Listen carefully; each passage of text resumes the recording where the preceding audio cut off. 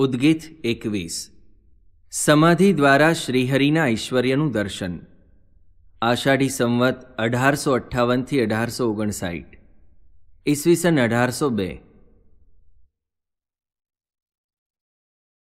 કાલવાણીમાં. અગતરાયથી શ્રીહરિ કાલવાણી પધાર્યા. અહીં પૂર બહાર પશ્ચિમ દિશામાં શ્રીહરિએ ઉતારો કર્યો. રાવટીઓ તંબુઓ ખોડાઈ ગયા. ગામના આહિર ભક્તો અપાર ભક્તિભાવથી સેવામાં જોડાઈ ગયા. તેમણે મહારાજને કહ્યું, મહારાજ, અન્ન જળની આપના પ્રતાપે અમારે કાંઈ ખોટ નથી. માટે આપ અહીં ઉત્સવ કરો. શ્રીહરિ તેમનો ભાવ જોઈ પ્રસન્ન થયા. તેમણે કહ્યું, તમે સૌ વ્રજના ગોપ બાળકો છો, તેથી જ આટલો પ્રેમ છે. આહિર લોકો તો ભોળા હતા વ્રજના ગોપ બાળકોનો તેમને અપાર મહિમા હતો. તેથી તેમના મનમાં સંકલ્પ થયો કે ક્યાં વ્રજના ગોપ બાળકો અને ક્યાં આપણે સીમને શેઢે ગાયુનું ધણ લઈને રખડનારા. શ્રીહરિએ તેમનો સંકલ્પ જાણ્યો અને તરત જ તેમના ઉપર દ્રષ્ટિ કરી. તેમને સૌને સમાધિ થઈ અને ગોલોકમાં શ્રીકૃષ્ણ સાથે ગાયો ચરાવતા વ્રજ બાળકો સાથે સૌ એકમેક થઈ ગયા. શબવત થયેલા તેમના દેહ, સમાધિના આ દિવ્ય આનંદમાં શ્રીકૃષ્ણ સાથે રાસ રમવાની ક્રિયા કરવા લાગ્યા. સૌ આશ્ચર્યવત તેમની આ ક્રિયા જોઈ રહ્યા. થોડી વારે શ્રીહરિએ તેમના તરફ દ્રષ્ટિ કરી અને તેઓ સૌ જાગ્રત થયા. શ્રીહરિએ તેમને પૂછ્યું, તમે શું જોયું? આહિર ભાઈઓ તો આનંદ વિભોર બની ગયા હતા. શું કહેવું? કેમ સમજાવવું તે તેમને સૂજ્યું નહીં? તેમણે તૂટતા શબ્દે કહ્યું, મહારાજ, અમે ભગવાન કૃષ્ણને જોયા, તેમની સાથે રાસ રમ્યા, આનંદમાં ભાન ભૂલી ગયા. કેટલો વખત ગયો તેની પણ ખબર ન રહી. પણ શ્રીકૃષ્ણે તમને શું કહ્યું? બોળા આહીરો પાણકોરાના સૂંથણા ઉપર કેડિયા પહેરતા, ખભે ઊનનો ધાબળો રાખતા, હાથમાં કડિયાળી ડાંગ ફેરવતા, ગાયુંને ભેંસું સાથે એના શબ્દમાં વાતું કરતા. કેમ કરીને સમજે કે તેઓ શ્રીકૃષ્ણના સખા હતા, વ્રજના બાળકો હતા. તેમને મન શ્રીકૃષ્ણના સખા તો તેજ તેજના અંબાર જેવા હોય એવી કલ્પના હતી. તેથી તેવા પોતે શી રીતે હોઈ શકે? પણ તેમણે સમાધિમાં જોયું તો તેઓ જ શ્રીકૃષ્ણના સખા હતા, વ્રજવાસી હતા. શ્રીકૃષ્ણે તેમને કહ્યું, તમે મારી સાથે રમ્યા ખેલ્યા, પણ અસુરોએ તમને મારી નાખ્યા. તેથી અધૂરી રહી ગયેલી કામનાથી તમો ફરી જન્મ્યા છો. હવે પૂર્ણ પુરુષોત્તમ શ્રી હરિની સેવાથી તેમના દિવ્ય અક્ષરધામમાં તમારી ગતિ થશે. આ સાંભળી સૌ સ્તબ્ધ બની ગયા. શ્રીહરિ રોજ સભા કરતા, ભજન કીર્તનની રમઝટ ચાલતી, ઉપદેશ વચનો પણ શ્રીહરિ કહેતા. આમ, ઉત્સવમય દિવસો પસાર થતા હતા. શ્રીહરિએ પોતાનું ઐશ્વર્ય અહીં છૂટું મૂક્યું હતું. પોતે પરમાત્મા છે, તે બતાવવા નહીં. પણ પોતે પરમાત્મા છે તેમ સમજીને લોકો ભક્તિમય જીવન જીવે તે માટે. વ્યાપકાનંદ સ્વામી ભૂમા પુરુષના લોકમાં જાય છે. એક દિવસ શ્રીહરિએ સભામાં બેઠેલા વ્યાપકાનંદ સ્વામીને કહ્યું, સ્વામી, ઇન્દ્રલોકમાં જાઓ. એમ કહી શ્રીહરિએ તેમના તરફ દ્રષ્ટિ કરી અને વ્યાપકાનંદ સ્વામી સમાધિમાં ગયા, ઇન્દ્રલોકમાં પહોંચી ગયા, પછી જાગ્રત થયા અને સભામાં પોતાના અનુભવની વાત કરી. પછી તેમને શ્રીહરિએ સમાધિમાં મોકલી બ્રહ્મલોકમાં, ગોલોકમાં મોકલ્યા. સમાધિમાં આ દિવ્ય દર્શન કરી તેઓ દેહમાં આવ્યા, ત્યારે શ્રીહરિએ તેમને કહ્યું, ભૂમા પુરુષના લોકમાં જાઓ. એમ કહીને તેમને સમાધિમાં મોકલ્યા. પરંતુ રસ્તામાં વિઘ્ન આવ્યું. એક વિશાળકાય હજાર માથાવાળા સ્વરૂપે તેમને રોક્યા. શ્રીહરિની તેમણે પ્રાર્થના કરી. શ્રીહરિએ તેમને કહ્યું, તેથી હજાર ગણી શક્તિ તમારામાં છે. બીક શા માટે રાખો છો? શ્રીહરિના આ શબ્દોથી તેમનામાં હિંમત આવી અને દૈત્યનો પરાભવ કરી ભૂમા પુરુષના લોકમાં પહોંચી ગયા. વ્યાપકાનંદ સ્વામીએ ભૂમા પુરુષને નમસ્કાર કર્યા, ત્યારે તેમણે પૂછ્યું, પૂર્ણ પુરુષોત્તમ પૃથ્વી ઉપર પ્રગટ્યા? વ્યાપકાનંદ સ્વામીએ કહ્યું, શ્રીહરિ હજારો મુમુક્ષુઓને પોતાના દિવ્ય ઐશ્વર્યથી ખેંચે છે, સમાધિમાં મોકલે છે અને દરેકને પોતપોતાના ઈષ્ટદેવના દર્શન કરાવે છે. તેમણે જ મને આપને સમાચાર આપવા મોકલ્યો છે. ભૂમા પુરુષને આ સમાચાર સાંભળી આનંદ થયો. પરબ્રહ્મ પુરુષોત્તમના ભક્ત અહીં પધાર્યા છે. તેથી તેમને ગૌરવ થયું. તેમણે વ્યાપકાનંદ સ્વામીને સિંહાસન ઉપર પધરાવ્યા. ચંદન ચર્ચ્યું, હાર પહેરાવ્યા, નૈવેદ્યમાં ફળો આપ્યા. ભૂમા પુરુષના લોકમાં ચતુર્ભુજ દેહધારી મુક્તો પોતાના ઈષ્ટદેવની આ ક્રિયા આશ્ચર્યવત જોઈ રહ્યા. વ્યાપકાનંદ સ્વામીએ તેમની જિજ્ઞાસા સંતોષવા તેમને શ્રીહરિનો મહિમા કહ્યો, પરબ્રહ્મ પુરુષોત્તમ નારાયણ, આજે સ્વામિનારાયણ નામ ધારી પૃથ્વી ઉપર પ્રગટ થયા છે. તમે સૌ તેમનો આશ્રય કરી તેમનું ભજન કરશો, તો પરાત્પર એવું તેમનું અક્ષરધામ તેની પ્રાપ્તિ થશે. એમ કહી સૌને ભજનમાં બેસાડ્યા. સ્વામિનારાયણ નામનો ઉદ્ઘોષ થયો. અક્ષરધામની પ્રાપ્તિનું સાધન તેમને મળી ગયું. આ રીતે ભૂમા પુરુષના લોકમાં શ્રીહરિનો મહિમા પ્રવર્તાવી, ત્યાંના વાસીઓને શ્રીહરિના આશ્રિત બનાવી, વ્યાપકાનંદ સ્વામી પુનઃ દેહમાં આવ્યા. આ રીતે સમાધિમાં અનેક પ્રકારે થતા દિવ્ય અનુભવો, દિવ્ય દર્શનથી આશ્ચર્યની પરંપરા સર્જાણી હતી. રોજ આવા આશ્ચર્યમય અનુભવો સાંભળી લોકોના મન સ્થિર થઈ ગયા હતા. પરબ્રહ્મ પુરુષોત્તમ નારાયણમાં આવા અનેક ઐશ્વર્યો સહજ જ હોય તેવું સૌને સમજાવવા લાગ્યું. શ્રી હરિ આવા ઐશ્વર્ય બતાવી અટકતા ન હતા.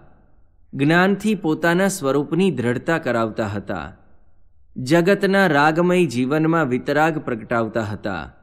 જીવનનું સાચું ધ્યેય અક્ષર બ્રહ્મનો ભાવ પામી પરબ્રહ્મની ભક્તિ કરવાનું તે તેઓ સૌના અંતરમાં દ્રઢ કરતા હતા. આધ્યાત્મિકતાની અતિ ગહરાઈનો ઇતિહાસ કાલવાણીમાં લખાતો હતો. પરબ્રહ્મ પુરુષોત્તમ નારાયણ પ્રગટ થયા હતા. સૌને પોતાનો સંબંધ કરાવી અક્ષરધામના અધિકારી કરવાનો તેમને ભાવ હતો. તે ભાવ અહીં સમાધિ દ્વારા તેમણે વહેતો મૂક્યો હતો. તે પ્રવાહમાં કેટલાક તણાયા. કેટલાક તેથી દૂર ભાગ્યા અને કેટલાકે આ નવીન પ્રયોગને જાદુ સમજી તિરસ્કાર્યો. સમાધિ પ્રકરણનો શ્રીહરિએ એટલો વિસ્તાર કર્યો કે જ્યારે શ્રીહરિ પૂરમાં પધારે, જેના સામું જુએ હરિ જ્યારે તેને સદ્ય સમાધિ તો થાય, ગોલોકાદિક ધામમાં જાય. કોઈ વેપાર કરતા વેપારી, કોઈ તોળતા ત્રાજવા ધારી કોઈ નામું ઠામું લખનાર, થઈ જાય જોતા શબાકાર, બીજા પરચા અનેક જણાય જોઈ જન હરિ આશ્રિત થાય. કરે દેવતા પુષ્પની વૃષ્ટિ, કોઈ કાળે દેખે જન દ્રષ્ટિ. આવે દર્શને દેવ અલેખે, કોઈ જન નિજ દ્રષ્ટિએ દેખે. આખા દેશમાં વિસ્તરી વાત, પ્રભુ પ્રગટ થયા સાક્ષાત. શ્રી હરિલીલામૃત, કળશ પાંચ, વિશ્રામ છ. શ્રીહરિએ નરકના કુંડો ખાલી કરાવ્યા. શ્રીહરિ સભામાં બિરાજમાન હતા. તે સમયે ભીમભાઈએ ઊભા થઈને શ્રીહરિને હાથ જોડી પ્રાર્થના કરતા કહ્યું, હે મહારાજ, જ્યારે કોઈ રાજા ગાદીએ બેસે, ત્યારે તેની મોજમાં બંદીવાનોને છોડી દેવામાં આવે છે. આપ પુરુષોત્તમ નારાયણ સ્વયં પધાર્યા. જેતપુરમાં આપનો પટ્ટાભિષેક થયો. તો તેની મોજમાં નરકમાં પીડાતા જીવો ઉપર આપે દયા કરવી જોઈએ. તેમને એ યાતનામાંથી છોડાવવા જોઈએ. ભીમભાઈની આ વાત સાંભળી શ્રી હરિ મંદ મંદ હસવા લાગ્યા. તેમણે કહ્યું, તમે ખરું કહ્યું. આજે નરકના કુંડ ખાલી કરી નાખીએ. એમ કહી તેમણે સ્વરૂપાનંદ સ્વામી તરફ દ્રષ્ટિ કરી. સ્વરૂપાનંદ સ્વામી તરત જ ઊભા થયા. શ્રીહરિએ તેમને કહ્યું તમે સમાધિમાં જાઓ અને ધર્મરાજાને આજ્ઞા કરો કે સર્વ જીવોને છોડી દે. તમારા ભજનના પ્રતાપથી સર્વ જીવો ત્યાંથી છૂટી ભૂમા પુરુષના લોકમાં જશે. સ્વરૂપાનંદ સ્વામી સમાધિમાં ગયા. યમપુરીમાં તેમણે જીવોને નરકની યાતના ભોગવતા જોયા. તેમનું અંતર દ્રવી ગયું. તેમણે તરત જ ઉચ્ચ સ્વરે સ્વામિનારાયણ સ્વામિનારાયણ ધૂન શરૂ કરી. સાથે તાળીનો પણ ઘોષ કર્યો. અહીં સદાય જમદૂતોના, મારો કાપોના ભયંકર શબ્દ સંભળાતા હતા. તેને બદલે આ દિવ્ય સ્વર સાંભળી નરક યાતના ભોગવતા જીવોને આશ્ચર્ય થયું. તેમણે તેજસ્વી કાશાએ વસ્ત્રધારી સંતને જોયા. આ સંતનું સ્વરૂપ તેમને અનંતતામાં વિસ્તરતું જણાયું. સાથે સાથે સ્વામિનારાયણ સ્વામિનારાયણ મહામંત્રનો ઘોષ પણ સર્વત્ર સંભળાતો હોય તેમ લાગ્યું. તેઓ બધા સ્થિર થઈ ગયા. યમરાજા પણ આ સંતવર્યના દર્શને આવ્યા. તેમની અપરિમિત દિવ્યતા જોઈ તેમને લાગ્યું કે આ સંત કોઈ જુદા જ લોકના છે. તેમણે નમસ્કાર કર્યા અને પૂછ્યું, મહાત્મન, આપ કયા લોકમાંથી અહીં પધાર્યા છો? સ્વામીએ હસતા હસતા કહ્યું મૃત્યુ લોકમાં પરબ્રહ્મ પુરુષોત્તમ નારાયણ પ્રગટ થયા છે. સ્વામિનારાયણ સ્વરૂપે આજે તેમનું ભજન થાય છે. તેમની આજ્ઞાથી આ નરક યાતના ભોગવતા જીવોને અહીંથી મુક્ત કરી ભૂમા પુરુષના લોકમાં મોકલવા છે. યમરાજા આ સાંભળી સ્થિર થઈ ગયા. તેમણે થોડી વારે કહ્યું, આપ અહીં આવી શક્યા. આ દિવ્ય મંત્રનો ઉદ્ઘોષ કર્યો, ત્યારથી જ આ જીવોની યાતના શમી ગઈ છે. હવે એ મંત્રના પ્રભાવથી તેઓને અહીંથી મુક્તિ મળતી હોય અને ચતુર્ભુજ સ્વરૂપ ધારી ભૂમા પુરુષના લોકમાં જતા હોય તો મને વાંધો નથી. સ્વરૂપાનંદ સ્વામીએ તરત જ સ્વામિનારાયણ મંત્રનો ઘોષ ફરી શરૂ કર્યો. એ મંત્રના દિવ્ય સૂર સાંભળી નરકના જીવો પણ એ મંત્રનો ઘોષ કરવા લાગ્યા. એટલામાં યમરાજાએ જોયું કે યમપુરીના સર્વે જીવો ચતુર્ભુજ સ્વરૂપ ધારણ કરી ભૂમા પુરુષના લોકમાં જાય છે. યમરાજા આશ્ચર્યવત આ જોઈ રહ્યા. તેમને થયું, આ બધા કુંડો ખાલી થઈ જશે તો? મારા રાજ્યનું, મારા અધિકારનું શું? સ્વરૂપાનંદ સ્વામી તેમની મૂંઝવણ પરખી ગયા. તેઓ હસ્યા. તેમણે કહ્યું, મહારાજ, મૂંઝાશો નહીં. માયા અનાદિની છે. આસુરી સંપત્તિ અનાદિની છે. રાજ્ય કરવાની મહેચ્છા હશે, ત્યાં સુધી એ બંધન છૂટશે નહીં. એટલું કહીને સ્વરૂપાનંદ સ્વામીએ ફરી તાળી પાડી અને સર્વ જીવો ચતુર્ભુજ સ્વરૂપ ધારી ત્યાંથી અંતર્ધાન થવા લાગ્યા. સ્વરૂપાનંદ સ્વામી સમાધિમાંથી જાગ્યા, ત્યારે સૌ સભાજનો આતુરતાથી તેમનો અનુભવ સાંભળવા તત્પર બની ગયા હતા. તેમણે શ્રીહરિને સર્વ હકીકત કહી. શ્રીહરિ તેમની વાત સાંભળી ખૂબ પ્રસન્ન થયા. તેમણે કહ્યું, આ અવતાર ધર્યાનું એ જ પ્રયોજન છે. જે જે અમારા યોગમાં આવશે, પાપી કે પુણ્યવંતા હશે, તેમનો સર્વનો અમારે ઉદ્ધાર કરવો છે. એમ કહીને પ્રસન્નતાના ભાવપૂર્વક પોતાના ચરણારવિંદથી સ્વરૂપાનંદ સ્વામીની છાતી અંકિત કરી. શ્રીહરિ કાલવાણીથી નીકળી આષાઢી સંવત અઢારસો અઠ્ઠાવનના પોષ સુદ ચૌદશના દિવસે પંચાળા પધાર્યા અને ત્યાંથી માંગરોળ બંદરે પોષ સુદ પૂનમના દિવસે પધાર્યા.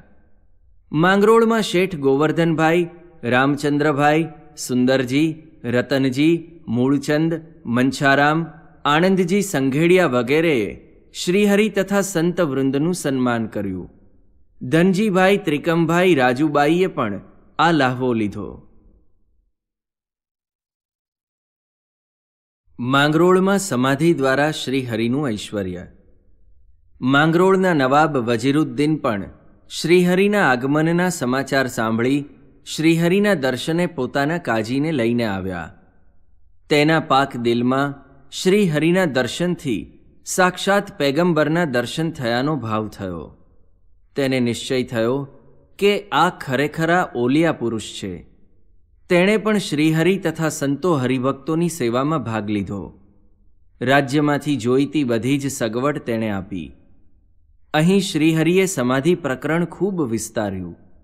શ્રીહરિના ઉતારાની સામે જ શહેરમાં પ્રવેશ કરવાનો દરવાજો છે. ત્યાંથી જે કોઈ નીકળે, તેને તરત જ સમાધિ થાય અને પૃથ્વી ઉપર પડી જાય. આથી ત્યાંના ભોળા લોકોને થયું, આ કોઈ જંત્ર મંત્ર અને કામણ કરનારો બાવો છે. તેથી સૌ તે દરવાજા પાસેથી પસાર થતા બંધ થયા. લોકોની અવરજવર ઓછી થઈ, એટલે શ્રીહરિએ ગણેશભાઈને પૂછ્યું, લોકો હવે આ દરવાજેથી કેમ જતા આવતા નથી?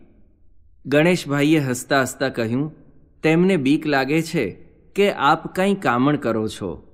તેથી આપને જોઈ બધા પૃથ્વી ઉપર પડી જાય છે. બિચારા અજ્ઞાનીજનોને સમાધિના દિવ્ય સુખના સ્વાદની ખબર નથી. શ્રીહરિ આ સાંભળી હસ્યા. તેમણે કહ્યું, તો તેમને આ સ્વાદ ચખાડીને પણ આ માર્ગે વાળવા પડશે. અધર્મ, અનીતિ અને વહેમના પ્રવાહમાં ખેંચાતા લોકોને વાળવાનો આ સિવાય બીજો કોઈ ઉપાય હમણાં નથી. ત્રણ તાપથી ધગેલા તેમના અંતરમાં જ્ઞાનના શબ્દો ઓગળી જશે. હવે તો મારી ચાખડીનો ચટ ચટ શબ્દ જે સાંભળશે, તેને પણ તરત જ સમાધિ થઈ જશે. પછી તો શ્રીહરિ બજારમાં નીકળતા અને તરત જ વેપારીઓ દુકાનો બંધ કરી દેતા. સમાધિની આવી બીક તેમના અંતરમાં પેસી ગઈ હતી. શ્રીહરિએ નિશ્ચય કર્યો હતો કે આમને સૌને આ અનુભવ કરાવવો જ શ્રીહરિ ગણેશભાઈને ત્યાં જમવા જતા હતા. આગળ પાછળ સંતો હરિભક્તો હતા. દરવાજા પાસેથી નીકળ્યા અને દુકાનો બધી બંધ થવા માંડી. એક દુકાનમાં બાપ દીકરો બંને નામાના કામમાં પડી ગયા હતા. બાપે કાને કલમ ખોસી હતી, ચશ્મા નાકની દાંડી સુધી આવી ગયા હતા. તેવામાં શ્રીહરિ નીકળ્યા. ઝટપટ ચોપડા બંધ કરી બાપ દીકરો બંને અંદર જવા દોડ્યા. પણ દીકરાને મહારાજની ચાખડીનો ચટચટ અવાજ સંભળાઈ ગયો અને તરત જ તેને સમાધિ થઈ. એ અવસ્થામાં પણ બીકના માર્યા તેનાથી બોલાઈ ગયું, ઓ મારા બાપરે! મહારાજ આ સાંભળી હસવા લાગ્યા. તેમણે ગણેશજીને કહ્યું, અષ્ટાંગ યોગના ફળરૂપ આવી સમાધિ થાય છે. તે આજે સહેજે સહેજે અમારી ઈચ્છાથી લોકોને થાય છે. તેની આટલી બધી બીક છતાં શ્રીહરિએ તો એ પ્રકરણ ચાલુ જ રાખ્યું. પોષ માસ માંગરોળમાં પૂરો થયો. માણાવદરના નવાબ ગજેફર ખાનજીએ શ્રીહરિને માણાવદર તેડી લાવવા માટે મયારામ ભટ્ટને માંગરોળ મોકલ્યા.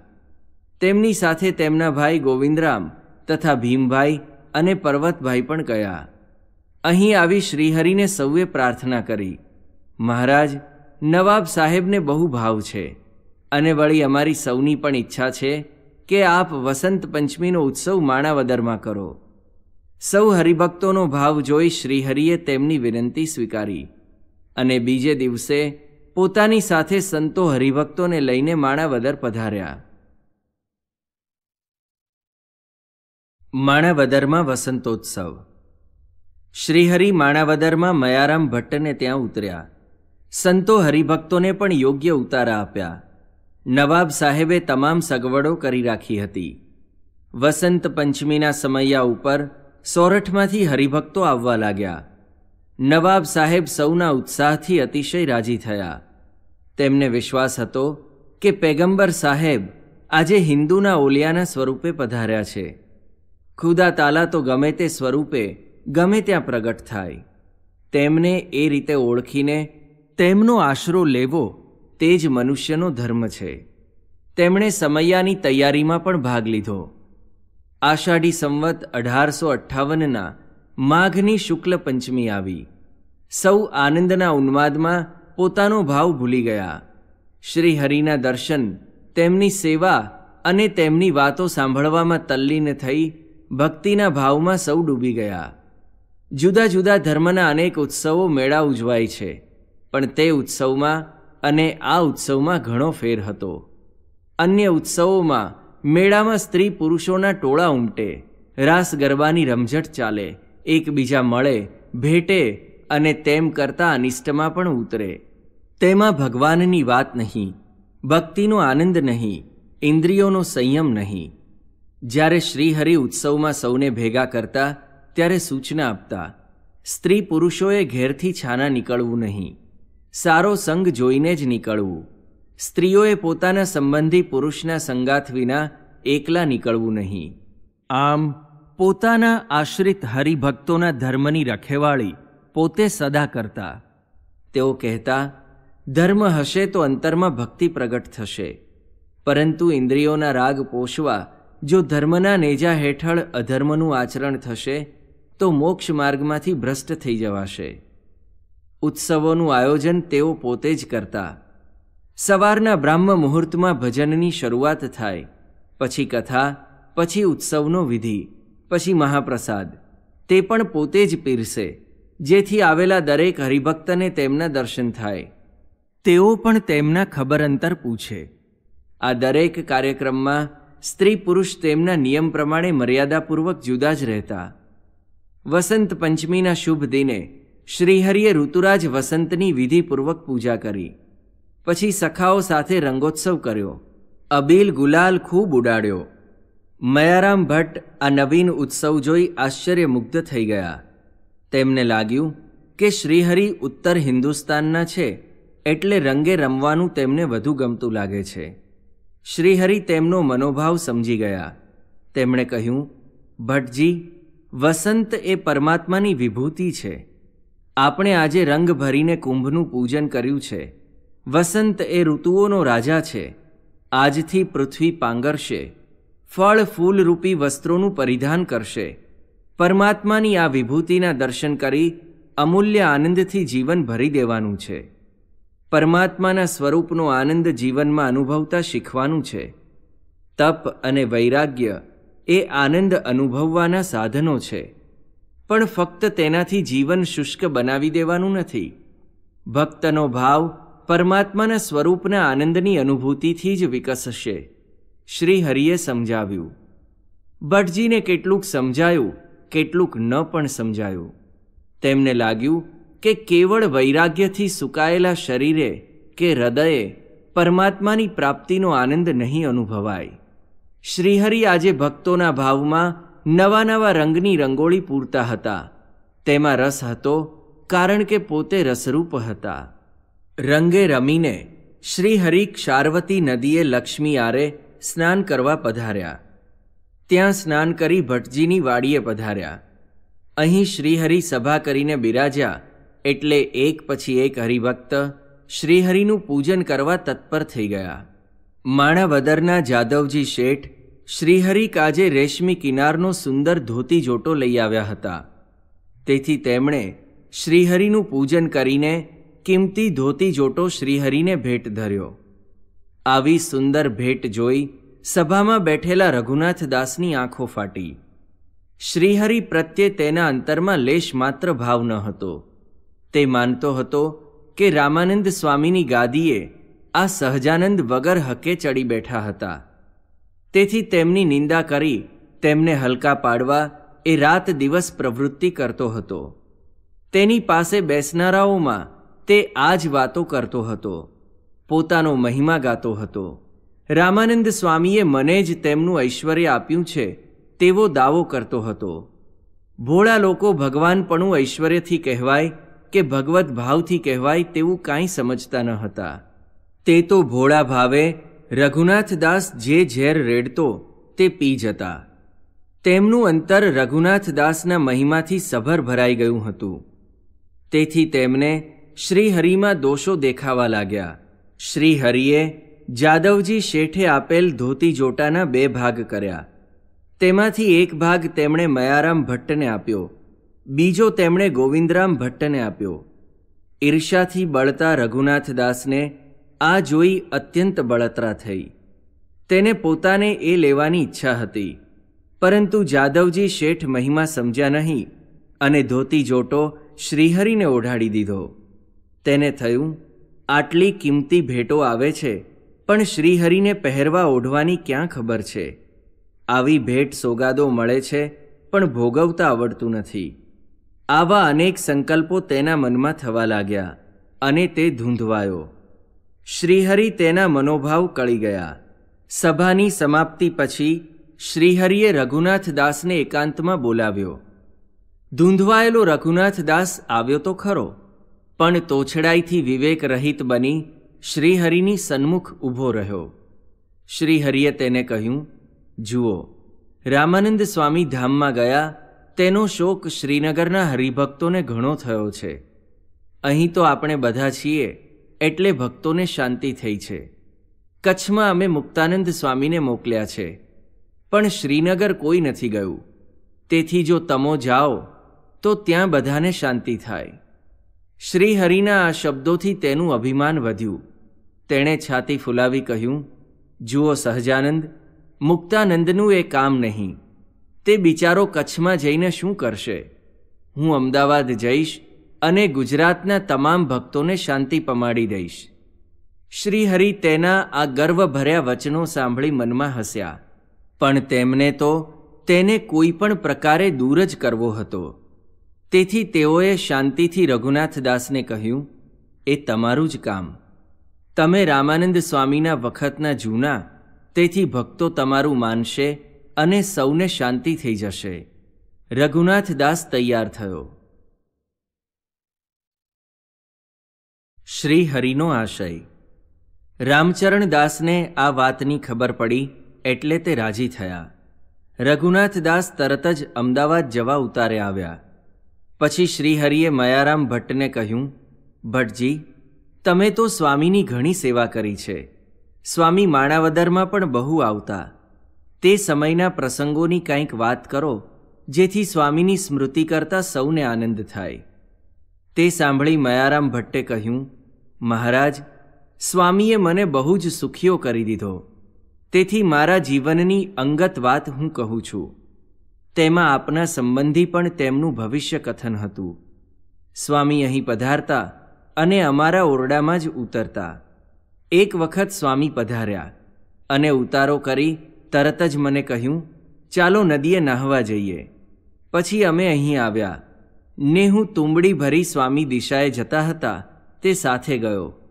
થોડે આગે ગયા અને મેં સ્વામીને પૂછ્યું, સ્વામી, મારી સગાઈ કરવા મારી બહેન ભુજથી આવી છે. તે હવે તમે કહો તેમ કરું. ત્યારે સ્વામીએ થોડા ગંભીર થઈને કહ્યું, ભટ્ટ, જો ભગવાન મળતા હોય, તો હથેવાળામાંથી પણ હાથ કાઢીને ભાગી જવું. એમ કરીએ, ત્યારે ભગવાનમાં ખરી પ્રીતિ છે એમ જાણવું. માટે તમારે એ ફંદામાં હવે પડવું નહીં. કારણ અક્ષરાધિપતિ પૂર્ણ પુરુષોત્તમ નારાયણ પ્રગટ થયા છે. થોડા વખતમાં અહીં પધારશે. તમારે જો તે મૂર્તિનું સુખ લેવું હોય, તેમની ભેગા ફરવું હોય, તો સગપણ કરવું રહેવા દો. સ્વામીની વાતમાં મને વિશ્વાસ હતો. મારા હિતની જ તેઓ વાત કરતા હતા. વળી આપ અહીં પધારવાના છો. તે ભવિષ્યની વાત પણ તેમણે કહી હતી. મને આપની મૂર્તિનું સુખ લેવા નિર્દેશ કર્યો હતો. તેથી મેં તરત જ સ્વામીને કહ્યું, સ્વામી, આપો પાણી. એટલે સ્વામીએ મારા હાથમાં તુંબડીમાંથી પાણી આપ્યું. ભટજી વાત કરતા રંગમાં આવી ગયા હતા. તેમણે આગળ ચલાવ્યું. હાથમાં પાણી લઈ મેં સ્વામીને કહ્યું, સ્વામી, હવે સગપણ કરે તેને માથે સડતાળાના કાળનું પાપ. એમ કહી મેં પાણી હેઠે નાખ્યું. પછી સ્વામી દિશાએ ગયા. નાહીને બોરડીના વૃક્ષ નીચે ગાદી ઉપર સ્વામી વિરાજમાન થયા. પછી સ્વામીએ મારા મનમાં સંકલ્પો થતા હતા, તે જાણીને મને કહ્યું ભટ્ટજી આજથી તમો દ્રવ્ય અને સ્ત્રીમાં બંધાશો નહીં. અમારા એ આશીર્વાદ છે. હું આ સાંભળી એકદમ સ્વામીના ચરણમાં પડી ગયો. મેં સ્વામીને હાથ જોડી કહ્યું, સ્વામી, તમને રાજી કરવા મેં સગાઈ ન કરવા માટે પ્રતિજ્ઞા તો લીધી પણ મનમાં સંકલ્પ થયા કરતા હતા કે આ કામનો વિષય, જેણે મોટા મોટા દેવતાઓને પણ કલંકિત કર્યા છે, તે કેમ જીતાશે અને પાર કેમ પડાશે? પણ આપના આશીર્વાદથી હવે હિંમત આવી ગઈ. મારી આ વાત સાંભળી સ્વામી મંદ મંદ હસવા લાગ્યા. તે વખતે સભામાં બેઠેલા શ્યામજી જાટકિયાએ સ્વામીને પૂછ્યું, સ્વામી, તમારા ઉપર કોઈ મોટા છે? ત્યારે સ્વામીએ કહ્યું, હા, અમે તો જેમ ગણેશનો વેશ આવે છે, તેમ આવીને પડ છાંટ્યું છે. ને ડુગડુગી વગાડીએ છીએ, ને રમનારા તો વનમાંથી ચાલ્યા આવે છે. તે આવશે, ત્યારે અમે તમને દેખાડશું. તે આવશે, પાંચસો પરમહંસો બનાવશે. કાઠી અસવારો તેમની સાથે ફરશે અને તેમના ઘોડાના ડાબલાની ખડતાળે કરીને મતપંથ માત્રને કચરી નાખશે. એમ સ્વામીએ સંવત અઢારસો ત્રેપનમાં અહીં પધાર્યા, ત્યારે વાત કરી હતી. અને આજે એ વાત સાચી પડી છે. મયારામ ભટ્ટ બોલી રહ્યા અને મહારાજે તેમના માથે હાથ મૂક્યો અને કહ્યું, ભટ્ટજી, તમે ખરી સ્વામીના મહિમાની વાતો કરી. એટલું કહી મહારાજ ત્યાંથી ઉઠ્યા. મહારાજ ઉતારે પધાર્યા, ત્યારે રઘુનાથદાસ અમદાવાદ જવા નીકળી ગયો હતો. મહારાજ પણ બીજે દિવસે પીપલાણા પધાર્યા અને ત્યાંથી માંગરોળ પધાર્યા. માંગરોળમાં ફૂલદોલ ઉત્સવ. આષાઢી સંવત અઢારસો અઠ્ઠાવન. અહીં ફાગણના ફૂલદોલનો ઉત્સવ કરવાનું શ્રીહરિએ ધાર્યું. દેશ દેશના હરિભક્તો આવી ગયા. શ્રીહરિએ ધામધૂમથી રંગોત્સવ કર્યો. ભક્તોએ તેમને ફૂલના દોલા ઉપર ઝુલાવ્યા. આ પ્રસંગે શ્રીહરિએ હોલિકા ઉત્સવનું રહસ્ય સમજાવતા કહ્યું, ફાગણમાં હોલિકાનો ઉત્સવ સૌ કરે છે. ભક્ત પ્રહલાદનો નાશ કરવા હોલિકા તેને ખોળામાં લઈ અગ્નિમાં પ્રવેશ કરે છે. પરંતુ ભગવાનની ઈચ્છાથી હોલિકા બળી જાય છે અને પ્રહલાદની રક્ષા થાય છે. આસુરી તત્વો ઉપર દૈવી તત્વોનો વિજય થાય છે. હોલિકાના અસુર ભાવનો તિરસ્કાર કરતા કરતા લોકો અશ્લીલતામાં ઉતરી ગયા. પરંતુ એવી ભૂંડી ભાષા બોલવાથી અને સાંભળવાથી વૃત્તિઓ ઉશ્કેરાય છે, મન ભ્રષ્ટ થાય છે અને દેહ પણ ભ્રષ્ટ થાય છે. માટે એવા કુરિવાજોનો ત્યાગ કરવો. આ પ્રસંગે ભગવાને પ્રહલાદની રક્ષા કરી, એટલે ભગવાનનો વિજય થયો કહેવાય. એ આનંદમાં સૌએ રંગે રમવું, ભગવાનને પુષ્પના દોલામાં ઝુલાવવા. આ રીતે ઉત્સવમાં ભગવાનનું અનુસંધાન રાખવાથી ઉત્સવ ભક્તિમય બની જાય છે. સૌ એક ચિત્તે શ્રીહરિની વાણી સાંભળી રહ્યા હતા. શ્રીહરિની એક જ ઈચ્છા હતી લોકોના હૃદયમાંથી અસદવાસના, અસદભાવ, અસદ પ્રકૃતિ નિર્મૂળ કરવા હતા. તેમને શુદ્ધ કરવા હતા. ઉત્સવોનું રહસ્ય સમજાવી તેમને ભક્તિ માર્ગે દોરવા હતા.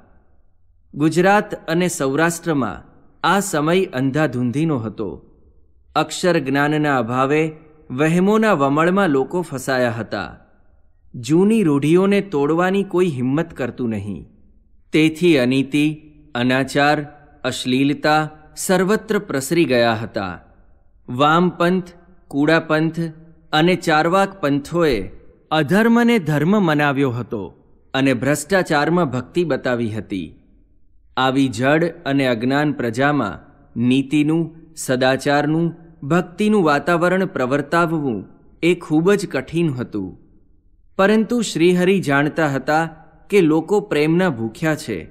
પેટનો ખાડો પૂરાશે, જીવનની જરૂરિયાતો મળશે, તો પ્રેમની ભાષા તેઓ સમજી શકશે, કુટેવો છોડશે, પ્રેમનો જવાબ પ્રેમથી જ આપશે. શ્રીહરિએ વૈશાખ સુદ ત્રીજ, અક્ષય તૃતીયા નૃસિંહ ચતુર્દશી, ભીમ એકાદશી વગેરે ઉત્સવો પણ માંગરોળમાં કર્યા. જેઠ લગભગ ઉતરવા આવ્યો, પણ વરસાદનું વાદળું ક્યાંય દેખાતું ન હતું. સૂર્યની અગ્નિ વર્ષા અસહ્ય બની ગઈ હતી. પાણીનો પણ જાણે કાળ પડ્યો હોય તેવું દેખાતું હતું. નદી, તળાવ, કૂવા વગેરે સુકાઈ ગયા હતા. પાણીની આ અસહ્ય તંગીથી પશુ, પંખી અને મનુષ્યો ત્રાસ પામી ગયા હતા. લોકોની આ મૂંઝવણ શ્રીહરિને સાલી. એ મૂંઝવણ ટાળવા તેમણે ઐશ્વર્ય ન વાપર્યું, પણ શ્રમનો સહારો લીધો. ઐશ્વર્યનું ફળ ક્ષણિક તત્પૂરતું જ હોય. શ્રમથી પ્રશ્નો કાયમ માટે ઉકલે છે. સેવાનો મહિમા સમજાય છે, સાધુનું ગૌરવ વધે છે. ગામને પાદરે એક જૂની વાવ હતી, પણ તે બુરાઈ ગયેલી હતી. શ્રી હરિએ વિચાર કર્યો આ પુરાતની વાવ છે, માટે તેમાં અખૂટ પાણી હશે. તેમણે નવાબ સાહેબ વજરુદ્દીન પાસે આ પુરાતની વાવને ફરી ગળાવી સજીવન કરવાની આજ્ઞા લેવા માણસો મોકલ્યા. શ્રીહરિની ઈચ્છા જાણી નવાબ સાહેબે કહેવરાવ્યું, હું તો આપનો સેવક છું. આપ આજ્ઞા કરો, તો એ પુરાતની વાવ હું ખોદાવી દઉં. શ્રીહરિ તેમના આ ભાવથી સંતુષ્ટ થયા. તેમણે સંદેશો મોકલ્યો, આપની પરવાનગી મળી છે તો હવે અમારા સાધુઓ શ્રમ કરશે. લોકોના ભલા માટે શ્રમ કરવો તે ભક્તિ છે. આવી સેવાથી લોકોમાં સાધુઓ પ્રત્યે ભાવ ઉત્પન્ન થશે, તેઓ ભક્તિને માર્ગે વળશે. શ્રીહરિએ સંતોને કહ્યું, લોકોના અંતર જીતવા હોય, તેમને ભક્તિ માર્ગે વાળવા હોય, તો આપણે જ શ્રમ કરીએ. સંતો અને હરિભક્તો આ કાર્ય કરશે, તો તે તીર્થ બની જશે. હું પણ તમારી સૌની સાથે મહેનત કરીશ. સંતો હરિભક્તોને પણ લાગ્યું કે લોકોના જીવનના પ્રશ્નો ઉકેલવા તેમના શ્રેય માટે આપણે જાતે જ શ્રમ કરીશું તો તેમની વધુ નજીક પહોંચી શકીશું. કેવળ ઉપદેશ વચનોથી તો ઉપદેશક અને ઉપદેશ્ય બંને વચ્ચે અંતર જ રહે છે. એટલે ઉપદેશકના શબ્દોની ધારી અસર લોકો ઉપર થતી નથી. શ્રીહરિ લોક સંપર્ક ઈચ્છતા હતા. તેઓ જ્યાં જતા ત્યાં લોકોના જીવનમાં ડોકિયું કરતા, તેમની મુશ્કેલીઓ સમજતા અને તે ટાળતા. પોતાના સંતોને પણ તેમણે આ ભલામણ કરી. લોકો સાથે એક થઈ જજો. ત્યાગાશ્રમના માનમાં તમે સ્વામી અને લોકો સેવક એવી ભાવના કદી રાખશો નહીં. આપણે જ સૌના સેવક બની જવાનું છે. બીજા દિવસથી વાવ ગાળવાનું કામ શરૂ થઈ ગયું. ગામે ગામથી જે જે હરિભક્તો આવતા તેમને શ્રીહરિ આ કામમાં લગાડી દેતા. પોતે પણ ગાળના તગારા ઉપાડતા. સંતો હરિભક્તો કીર્તનો સ્તોત્રો ગાતા જાય અને કામ કરતા જાય. ગામના લોકો પણ આવતા અને સંતોને શ્રમ કરતા જોઈ રાજી થતા. તેમને થયું કે સ્વામિનારાયણના આ સાધુઓ ગામમાંથી ભિક્ષા લાવીને સદાવ્રત ચલાવે, ભૂખ્યાને જમાડે, મહેનત કરી વાવ ખોદે અને સૌને પાણી પૂરું પાડે. જ્યારે બીજા બાવાઓ ગાળો દઈને પાકા સીધા માંગે, કોઈ કાંઈ ન આપે તો ત્રાગા કરે, શરીરમાં ચીપિયા ખોસી લોહી કાઢે. વળી કેટલાક બાવા કેવળ ઉપદેશ આપીને ચાલ્યા જાય. આમ સાધુ અસાધુનો તાગ તેઓ કાઢતા, પણ પાછા વિમાસણમાં પડતા. સ્વામિનારાયણ એ નવો સંપ્રદાય કહેવાય, તેમાં કેમ ભળાય? સંતો હરિભક્તોએ ઉનાળાના ખરા તાપમાં દસ દિવસ સુધી સતત મહેનત કરી અને શ્રીહરિની કૃપાથી મીઠું ટોપરા જેવું પાણી નીકળ્યું. બધાને બહુ જ આનંદ થયો. શ્રીહરિએ તેમાં સ્નાન કર્યું. પછી વિચાર કર્યો કે હવે વાવનું પૂર્ત કર્મ વિધિપૂર્વક કરાવવું. તેમણે મયારામ ભટ્ટને બોલાવીને આ વાત કરી. વિદ્વાન બ્રાહ્મણોને બોલાવો. બધો સામાન મગાવો. બ્રાહ્મણોને જમાડવા માટે સીધા સામગ્રી પણ મગાવો. મયારામ ભટ્ટે થોડા સમયમાં બધી તૈયારી કરી દીધી. શ્રીહરિ પોતે વિધિ કરવા બિરાજ્યા. બ્રાહ્મણોએ શાસ્ત્રના વિધિ અનુસાર પૂજન કરાવ્યું. શ્રીહરિએ વિષ્ણુ ભગવાનનું પૂજન કર્યું. વિધિ કરતા શ્રીહરિની મૂર્તિને એકાગ્ર ચિત્તે નિહાળતા મયારામ ભટ્ટ તથા અન્ય વિપ્રોને શ્રીહરિનું ચતુર્ભુજ વિષ્ણુ સ્વરૂપે દર્શન થયું. તેમની આજુબાજુ ધર્મ અને ભક્તિ પણ દેખાયા. સૌ આશ્ચર્યવત જોઈ રહ્યા. શ્રીહરિએ તેમને હસતા હસતા કહ્યું, મહારાજ, કેમ સ્થિર થઈ ગયા? વિધિ કરાવો. પણ બ્રાહ્મણો શું બોલે? થોડા સમયે શ્રીહરિના સ્વરૂપમાં વિષ્ણુનું સ્વરૂપ દેખાતું બંધ થયું, ત્યારે સૌ ભાનમાં આવ્યા. શ્રીહરિને હાથ જોડી તેમણે કહ્યું, પ્રભુ, આપ તો સાક્ષાત ભગવાન છો. છતાં અમારા કલ્યાણ અર્થે આપે સ્વયં આશ્રમ લીધો. શ્રીહરિએ તેમના તરફ આશીર્વાદ સૂચક દ્રષ્ટિ કરી. આ દ્રષ્ટિથી જ બ્રાહ્મણો કૃતકૃત્ય થઈ ગયા. પછી શ્રીહરિએ તેમને મિષ્ટ ભોજન જમાડી તૃપ્ત કર્યા. ગામના પાદરની પુરાતની પુરાઈ ગયેલી વાવ આજે અખૂટ જળથી ભરેલી હતી. શ્રીહરિ અને સંતોના શ્રમથી તેનો પુનરુદ્ધાર થયો. ગામના લોકોની પાણીની મુશ્કેલી આજથી દૂર થઈ ગઈ. મેઘજીતનો પરાભવ. શ્રીહરિનો આવો પ્રતાપ સમાધિ દ્વારા તેમણે જણાવેલું ઐશ્વર્ય, તેમના સાધુઓનો સેવાભાવ, આ બધાથી વધતી જતી શ્રીહરિની પ્રતિષ્ઠાથી ત્યાંનો વણિક મેઘજીત અકળાયો. તે પણ રામાનંદ સ્વામીનો શિષ્ય હતો. યોગની કાંઈક સિદ્ધિ તેને પ્રાપ્ત થઈ હતી. તે સિદ્ધિથી પોતાને મોટો માની મુક્તાનંદ સ્વામી જેવા મોટા સંતની પણ તે અવગણના કરતો હતો. શ્રી હરિનો તો તેને લેશ માત્ર ભાર ન હતો. તે કહેતો કે વૃદ્ધાવસ્થાને લીધે રામાનંદ સ્વામીની બુદ્ધિ બગડી ગઈ હતી. તેથી જ તેમણે અમારા જેવા જૂનાને અવગણીને આ નાના સહજાનંદને ગાદી સોંપી. તેના આવા પ્રલાપથી સૌ હસતા ત્યારે અભિમાનથી તે કહેતો, તમે હજુ મારો પ્રતાપ જોયો નથી. તે પ્રતાપ બતાવવા એક દિવસ તેણે ઉકળતા તેલની કડાઈમાં હાથ નાખ્યો.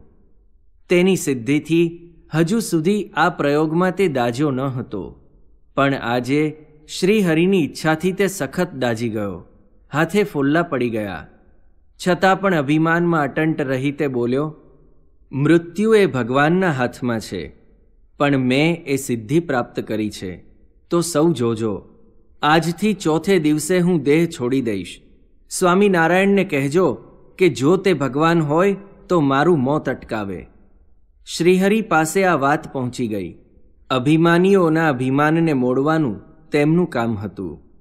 તેઓ ફક્ત એટલું જ બોલ્યા, આપણે જોઈએ, મેઘજીત કેમ દેહ મૂકે છે? મેઘજીતનો મહિમા ગામના લોકોને હતો. તેથી શ્રીહરિની આ વાણી તેમને ઢીલી લાગી. મેઘજીત ઘેર ગયો. તેણે પ્રાણ ત્યાગ કરવાનું નક્કી કરી લીધું. તેની આ શક્તિમાં તે શ્રીહરિનો પરાજય જોતો હશે. પરંતુ બુદ્ધિથી તેણે એટલો વિચાર ન કર્યો કે પ્રાણ ત્યાગ કર્યા પછી જય પરાજય કોણ જોશે? મહામોહ વ્યાપે ત્યારે માનવી સામાન્ય વિવેક પણ ગુમાવી બેસે છે. તેણે ગામની તમામ વસ્તીને જમાડવાનું નક્કી કર્યું. બધાને આમંત્રણ મોકલ્યા. પણ શ્રી હરિના એક પણ સેવકને તેણે નોતરું ન આપ્યું. ભક્તની અતૃપ્તિમાં ભગવાન અતૃપ્ત રહ્યા. ચોથે દિવસે મેઘજીત પ્રાતઃકાળને સમયે સ્નાનવિધિ નિત્ય કર્મથી પરવારી દેહત્યાગ કરવા માટે પદ્માસન લગાવીને બેસી ગયો. ગામના ટોળાબંધ લોકો મેઘજીતની આ સિદ્ધિ નિરખવા હાજર થઈ ગયા. મેઘજીતને તેમને જોઈને ગર્વ થયો. પોતાના મૃત્યુમાં સ્વામિનારાયણની હાંસી છે. તેને શ્રીહરિને હાંસી પાત્ર બનાવવા હતા. થોડી વારે તેણે પ્રાણવાયુને ખેંચ્યો. પ્રાણ હૃદયાકાશમાં સ્થિર થઈ ગયો. નેત્રો તથા શરીરના તમામ અંગો પણ સ્થિર થઈ ગયા. તેની આ સિદ્ધિ જોઈ લોકો પણ અવાક બની ગયા. ધીરે ધીરે હૃદયમાંથી પ્રાણને બ્રહ્મરંધ્રમાં લાવવા તે પ્રયત્ન કરવા લાગ્યો. બ્રહ્મરંધ્રને ભેદી તેને બ્રહ્માંડની સુષુમણા સાથે પોતાના પ્રાણની એકતા કરી અર્ચી માર્ગે મજલ કરવી હતી. પરંતુ હૃદયમાંથી પ્રાણ ઊંચે ચડ્યો જ નહીં. તેના અત્યંત પ્રયત્નથી નાડીઓ તૂટવા લાગી, છતાં પ્રાણ તો હૃદયમાં જ સ્થિર થઈ ગયો. ફરી ફરી તેણે પ્રયત્ન કર્યો. પ્રાણને તેની મૂળ સ્થિતિમાં સ્થાપન કરી તેના પાંચ ભાગ કરી નાખવા, જેથી શરીરની ક્રિયા પૂર્વવત ચાલુ થઈ જાય. પરંતુ તેમ પણ ન થયું. હૃદયમાં સ્થિર થયેલો પ્રાણ ત્યાંથી નીચે ગતિ જ ન કરી શક્યો. હવે તે ખરેખર મૂંઝાયો. દેહ મૂકવાનું તો ન બન્યું. પરંતુ પ્રાણની ગતિ હવે જો પૂર્વવત નહીં થાય, તો દેહની દશા અસ્તવ્યસ્ત થઈ જશે. તેને ખરેખર બીક લાગી. પ્રાણની ગતિ સ્થિર થઈ ગઈ. એટલે સર્વ ઇન્દ્રિયો અચેતન થઈ ગઈ. થોડી વારમાં તે અત્યંત કષ્ટથી પીડાતો પૃથ્વી ઉપર ઢળી પડ્યો. સૌ તેનું આ દુઃખ જોઈ કકળી ઉઠ્યા. કોઈનો કાંઈ ઉપાય ચાલે તેમ ન હતું. આ પ્રમાણે પાંચ દિવસ સુધી મેઘજીત સખત પીડાયો. મનોમન તો તેણે શ્રીહરિનું શરણું લઈ લીધું હતું, પણ વાચા ઉઘડતી ન હતી. તેની પીડા જોઈ બ્રાહ્મણોએ વિચાર કર્યો કે મેઘજીતે શ્રીહરિની અવગણના કરી તેથી તેની સિદ્ધિઓ બધી નિષ્ફળ નીવડી. હવે જો તેને આ કષ્ટથી ઉગારવો હોય, તો શ્રીહરિને જ અહીં બોલાવવા જોઈએ. મેઘજીત તો અચેતન અવસ્થામાં પડ્યો હતો. એટલે તેને પૂછવાનું રહ્યું ન હતું. ગામના લોકો, બ્રાહ્મણો વગેરે શ્રીહરિ પાસે ગયા. સૌએ શ્રીહરિને હાથ જોડીને કહ્યું, મહારાજ, મેઘજીત બહુ જ પીડાય છે. તેણે ગર્વમાં દેહત્યાગ કરવાનું પણ તો લીધું. પરંતુ મૃત્યુને પ્રેરણા કરવી તે આપના હાથની વાત છે. માટે તેને હવે આપ ઉગારશો તો જ તે બચશે. સૌની પ્રાર્થના શ્રીહરિએ સાંભળી. મેઘજીતની પણ મનોવૃત્તિ પોતાના સુધી પહોંચી ગઈ હતી. તે પણ તેઓ જાણતા હતા. તેથી તેઓ તરત જ થોડા સંતો હરિભક્તોને લઈને મેઘજીત પાસે ગયા. કરુણા નિધાને તેના ઉપર કૃપા કરી પોતાની દ્રષ્ટિ તેની આંખમાં સાંધી. શ્રી હરિની દ્રષ્ટિથી મેઘજીતની આંખની કીકીઓ હલવા લાગી. એક પછી એક ગાત્રોમાં પ્રાણનો સંચાર થવા લાગ્યો.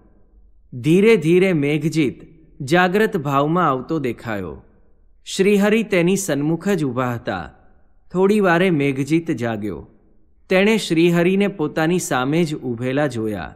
દેહના કષ્ટથી તે સતત પાંચ દિવસ પીડા પામ્યો હતો. તેથી તે ઊઠી ન શક્યો. પરંતુ તેણે શ્રીહરિના ચરણકમળ સમક્ષ બે હાથ લંબાવ્યા. શ્રીહરિ તેની પાસે આવ્યા. તેના શરીરે પોતાના બંને હાથ ફેરવ્યા. મેઘજીતે પણ તે દિવ્ય સ્પર્શની દિવ્યતા પોતાના શરીરમાં સમાવી દેવા શ્રીહરિના બંને હાથ પકડી લીધા. તેની આંખોમાંથી શ્રાવણ ભાદરવો વરસવા લાગ્યા. થોડી વારે તે પ્રયત્ન કરી ઉઠ્યો અને શ્રીહરિના ચરણમાં ઢળી પડ્યો.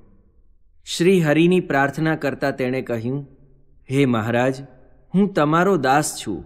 મારા અપરાધ ક્ષમા કરો. મારી સિદ્ધિના મદમાં હું આપને ઓળખી શક્યો નહીં. મેઘજીતનું આવું પરિવર્તન જોઈ સૌને આશ્ચર્ય થયું. શ્રીહરિનો પ્રતાપ સૌએ જોયો. શ્રીહરિ પરમાત્મા છે, તેની સૌને પ્રતીતિ થઈ. માંગરોળના નગરજનોને હવે પોતપોતાના ઇષ્ટદેવના દર્શન કરવાની જિજ્ઞાસા જાગી. શ્રીહરિને તેમણે વિનંતી કરી. શ્રીહરિએ તેમની વિનંતી સ્વીકારી. બધા ભેગા થયા. વલ્લભ સંપ્રદાય ને મધ્વ સંપ્રદાયના અનુયાયીઓએ શ્રીહરિને પોતાના ઇષ્ટદેવ ગોપીનાથ સ્વરૂપે જોયા. રામાનુજ મતના હતા, તેમણે લક્ષ્મી નારાયણ સ્વરૂપે જોયા. રામાનંદીઓએ રામ સાથે સીતાજીને જોયા. વેદાંતીઓએ જ્યોતિ સ્વરૂપે જોયા. શિવ ઉપાસકોએ શિવ પાર્વતીને જોયા. સૂર્યના ઉપાસકોએ સૂર્યને જોયા. ગણપતિના ઉપાસકોએ ગણેશજીને જોયા. જૈનોએ તીર્થંકરોને જોયા. મુસલમાનોએ પેગંબરને જોયા. જેના જે જે ઈષ્ટદેવ હતા, તે તે સ્વરૂપના, તેમણે શ્રીહરિની કૃપાથી થયેલી સમાધિમાં દર્શન કર્યા. આ તમામ સ્વરૂપોના કારણ, આ પ્રત્યક્ષ શ્રીહરિ છે, તેની તેમને પ્રતીતિ થઈ. શ્રીહરિનો પ્રતાપ સર્વત્ર પ્રસરવા લાગ્યો. આષાઢી સંવત અઢારસો ઓગણસાઠનું વર્ષ બેઠું અને આષાઢનો મેઘ આકાશમાં છવાયો. મોર પણ ગેલમાં આવીને પોતાની ડોકની સાંકળના ત્રણ ત્રણ કટકા કરીને ગેહુંક ગેહુંક ગહેંકવા લાગ્યા. મલ્હાર રાગનીએ સુરાવલી સાંભળી વાદળાઓ વરસવા લાગ્યા. સૂર્યના તાપથી ધગેલ પૃથ્વી ટાઢી થઈ. તેના ઊના નિશ્વાસ ટાઢી વરાળ બની પૃથ્વીની માદક સુગંધ પ્રસરાવવા લાગ્યા. શ્રીહરિએ અહીં રથયાત્રાનો ઉત્સવ કર્યો. દેવ પોઢણી એકાદશીએ સૌને વિશેષ નિયમો આપ્યા. આષાઢની વદ બીજે શ્રીહરિ હિંડોળા ઉપર બિરાજ્યા. સંતો હિંડોળના પદ ગાવા લાગ્યા.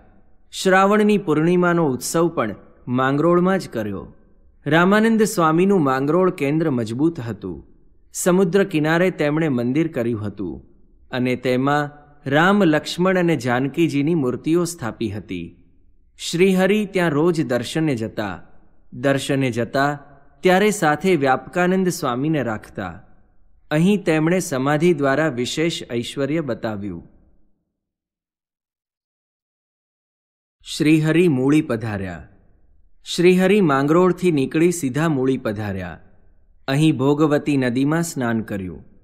તે વખતે ત્યાં હરખજી ખત્રી લુગડા ધોતો હતો. તેને શ્રીહરિએ પૂછ્યું, ગામમાં ઉતરી શકાય એવું કોઈનું ઘર છે? ત્યારે તેણે સામું પૂછ્યું, આપ કોણ છો? મહારાજે કહ્યું, અમે બ્રહ્મચારી છીએ. મહારાજના દર્શન કરતા ખત્રી થોડો વિચાર કરવા લાગ્યો. તેને થયું કે બ્રહ્મચારી તપસ્વી છે. વળી સામાન્ય સાધુ બાવા જેવા નથી. તેથી તેમને ગમે તેને ઘેર તો મોકલાય નહીં. થોડી વારે તેણે કહ્યું, મહારાજ, અહીં ઘેલા જોશીનું ઘર છે. બહુ જ પવિત્ર બ્રાહ્મણ છે. આપ ત્યાં જાઓ. પછી મહારાજ પૂછતા પૂછતા ઘેલા જોશીને ઘેર પધાર્યા. તપસ્વીને પોતાને આંગણે આવતા જોઈ વિપ્ર ઘેલા જોશી અત્યંત આનંદમાં આવી ગયા. તેમણે તરત જ પોતાના ફળિયામાં લીમડો હતો, તેની આજુબાજુ મોટો ચોતરો હતો, તે ઉપર આસન પાથરી દીધું. પછી હાથ જોડી પૂછ્યું, મહારાજ, રસોઈ બનાવશો કે અમારી રસોઈ જમશો? મહારાજે કહ્યું, આજે તો અમારે એકાદશીનો ઉપવાસ છે. તે સાંભળી ઘેલા જોશીએ પૂછ્યું, તો મહારાજ ફરાળ લાવું? તમારી મરજી. મહારાજે ફક્ત એટલું જ કહ્યું, અતિથિમાં દેવને દેખવાની દ્રષ્ટિ તે સમયના માનવીઓમાં હતી, જ્યારે આ તો સાક્ષાત પરમાત્મા હતા. ઘેલા જોશીનું અંતઃકરણ પણ આ બ્રહ્મચારીના પ્રથમ દર્શને જ તેમના સ્વરૂપમાં લુબ્ધ થઈ ગયું હતું. તેથી તે તો હરખભેર ઘેર આવેલી ગંગામાં સ્નાન કરવા જ લાગ્યો. થોડી વારમાં ગામમાંથી તે પેંડા લઈ આવ્યો. પરંતુ વિપ્રની સ્ત્રી અમૃતબાઈએ તેને કહ્યું, બ્રહ્મચારીને એકલા પેંડા ન અપાય. આ દહીં પણ આપો. એમ કહીને દહીંનો વાટકો તેમણે ઘેલા જોશીને આપ્યો. ઘેલા જોશીએ દહીં અને પેંડા શ્રીહરિને આપ્યા. શ્રીહરિએ શાલિગ્રામને નૈવેદ્ય ધરાવી ફરાળ કર્યું. ફરાળ કરી ચડું કર્યું. એટલામાં તો એક યોગી ત્યાં આવી ચડ્યો. શ્રીહરિની કૃશ કાયા જોઈ તેને એમ લાગ્યું કે આ બાવાજી પણ કોઈક યોગ સાધના કરતા હશે. તેથી તે મહારાજ પાસે યોગની અનેક વાતો કરવા લાગ્યો. મહારાજે તેની વાત શાંતિથી સાંભળી અને પછી કહ્યું યોગની કેવળ વાતો કરવાથી કાંઈ અર્થ સરતો નથી. એ તો જ્યારે સિદ્ધ દશા પ્રાપ્ત થાય, ત્યારે જ આત્માનું દર્શન થાય. શ્રી હરિના સ્વરૂપમાં બાવાજીને પણ યોગની સિદ્ધિના ઓળા દેખાયા. તેથી તે આગળ બોલ્યા નહીં. જ્ઞાનના લક્ષ્યાર્થની સિદ્ધિ વાચ્યાર્થીઓને મૂક બનાવી દે છે. મહારાજ તે જ દિવસે ત્યાંથી નીકળવાના હતા. પરંતુ ઘેલા જોશીનો આગ્રહ મહારાજને રોકવાનો ઘણો હતો. તેની ઈચ્છા હતી કે કાલે સારી રીતે પારણા કરાવીને જ બ્રહ્મચારીને જવા દેવા. મહારાજ પણ રોકાયા. બીજે દિવસે ઘેલા જોશીએ સુંદર રસોઈ બનાવરાવી મહારાજને પારણા કરાવ્યા. પછી મહારાજનું પૂજન કર્યું. મહારાજે તેનો ભાવ જોઈ પૂછ્યું, વિપ્ર, કાંઈ ઈચ્છા છે? ઘેલા જોશીએ હાથ જોડી કહ્યું, મહારાજ મારે સાત દીકરી છે, પણ એકે દીકરો નથી. મહારાજ તે સાંભળી હસ્યા. તેમણે કહ્યું, જોશી, તમારે ત્રણ દીકરા થશે. તેમાં મોટાનો વંશ રહેશે. દીકરીઓમાં જે નાની કુશળ છે, તેનો વંશ રહેશે. એ પ્રમાણે વરદાન આપી મહારાજ ત્યાંથી નીકળી ગયા. મહારાજ ત્યાંથી નીકળી ટીકરેપુર ગામમાં પધાર્યા. પરમારોનું આ ગામ હતું. ગામના તળાવમાં ઘોડાને પાણી પાયું. એટલામાં વસતા સુથાર ત્યાં આવ્યા. મહારાજના દર્શન કરી બે હાથ જોડી કહ્યું, મહારાજ, સારું થયું આપ પધાર્યા. મારે કાશીએ જાત્રા કરવા જવાનો સંકલ્પ છે. તો આશીર્વાદ આપો કે જાત્રા નિર્વિઘ્ને થાય. મહારાજે તેને કહ્યું, તારે તો આ દર્શન થયા તે અહીં જ ગોકુળ, મથુરા, કાશી, અયોધ્યા, જગન્નાથપુરી બદ્રીનાથ, મુક્તિનાથ, દ્વારકા વગેરે તીર્થોની જાત્રા થઈ ગઈ. જેને હરિ હરિજનમાં હેત છે, તેને તો ઘેર બેઠા તીરથ છે. માટે તું હવે કાશી જઈશ નહીં, અને જો જઈશ, તો પાછો આવી શકીશ નહીં. મહારાજના આ શબ્દો સાંભળી વસ્તો હેબત ખાઈ ગયો. તેણે કાશી જવાનો વિચાર ત્યાં જ માંડી વાળ્યો. ભોગવતી નદીને આશીર્વાદ. મહારાજ તેને એ પ્રમાણે કહીને પાછા મૂળી તરફ પધાર્યા. બોગાવાના કિનારે મહારાજ થોડું થંભ્યા. મહારાજની દ્રષ્ટિ સ્થિર હતી. એકાગ્રતાથી કાંઈક સાંભળતા હોય તેમ કાન સરવા કર્યા હતા. થોડી વારે બે હાથ ઊંચા કરી આશીર્વાદ આપતા હોય તેવી ચેષ્ટા પણ કરતા હતા. તે વખતે ત્યાં હીરાચંદ નામનો એક વણિક મહારાજની આ બધી ચેષ્ટા જોઈ રહ્યો હતો. મહારાજે હાથ ઊંચા કર્યા અને તરત જ તેને ત્યાં સમાધિ થઈ ગઈ. તે સમયે ભોગવતી નદી સ્ત્રીનું રૂપ ધારણ કરી મહારાજની પૂજા કરવા આવી. મહારાજ ઘોડા ઉપરથી નીચે ઉતરી ગયા. ઘોડાની સરક એક હાથમાં પકડી, બીજો હાથ કેડ ઉપર રાખી મહારાજ ઊભા રહ્યા. ભોગવતીએ મહારાજની પૂજા કરી. મહારાજે તેને કહ્યું, તે મારી પૂજા કરી છે. તેથી તારા સર્વે પાપ બળી ગયા. હવે તું મારું ધ્યાન કરજે, એટલે તારો મનોરથ પૂરો થશે. ઉન્મત્ત ગંગાએ જેવું તપ કર્યું છે, તે પ્રમાણે તું તપ કરીશ, તો તારા તટ ઉપર શ્રીકૃષ્ણનો નિવાસ થશે. તેથી તારો અપાર જશ ગવાશે, મહિમા વધશે. એટલામાં હીરાચંદ વણિક સમાધિમાંથી જાગૃત થયા. શ્રીહરિને જોઈને તેમને તે દંડવત કરવા લાગ્યા. માણસો ત્યાં એકઠા થઈ ગયા હતા. હીરાચંદે દિવ્ય દર્શન કર્યા હતા. તેની તેને વાત કહેવી હતી. તેણે કહ્યું, મહારાજ, પૂરની ઉત્તર બાજુ નદી તટે સુવર્ણનો કોટ મને દેખાયો. તેની અંદર ત્રણ શિખરનું ભવ્ય મંદિર મેં જોયું. તેના શિખર આકાશમાં અડતા હતા. તેના ઉપર કનકના કળશ ઝગમગતા હતા. મધ્ય મંદિરમાં ત્રણ મૂર્તિ છે. બાજુના મંદિરમાં બે મૂર્તિઓ છે. હીરાચંદ બોલીએ જ જતા હતા.